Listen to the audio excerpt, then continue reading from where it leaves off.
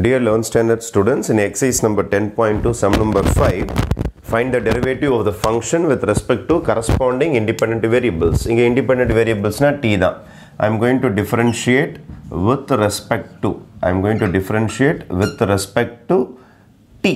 இங்கே x கடையாது, இங்கே t. இங்கே symbol மாறி இருக்கு நமக்கு. tன்னு வந்தால் t தான் யூஸ் பண்ணனும். ஏன்னா variable பார்த்துங்க t.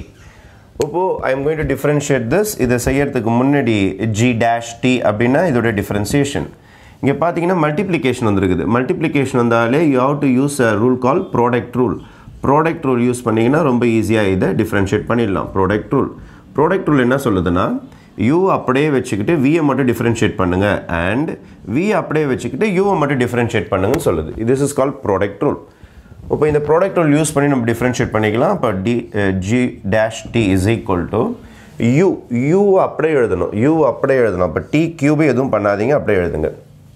வி டேஷ் வி டேஷ்னா காசை டிஃப்ரென்ஷியேட் பண்ணணும் காசை டிஃப்ரென்ஷியேட் பண்ணால் மைனஸ் சைன் இங்கே எக்ஸ்எம்ன்றதுனால இங்கே எக்ஸ் வந்துருக்கு. இங்கே டீனா டீ போட்டுக்கணும். அவ்வளோதான் வேறு ஒன்றுமே கிடையாது.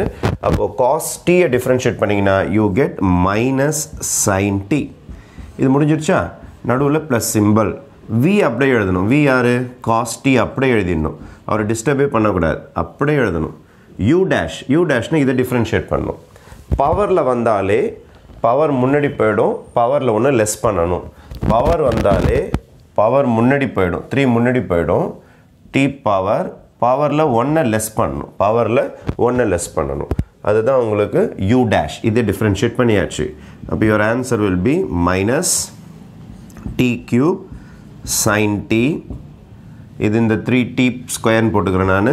Three t square three t square cos t cos t இந்த ஃபார்முலா இங்கே எழுதிட்டு இது இங்கே எல்லாம் மாற்றி கூட எழுதலாம். அதை பற்றி தப்பு கிடையாது.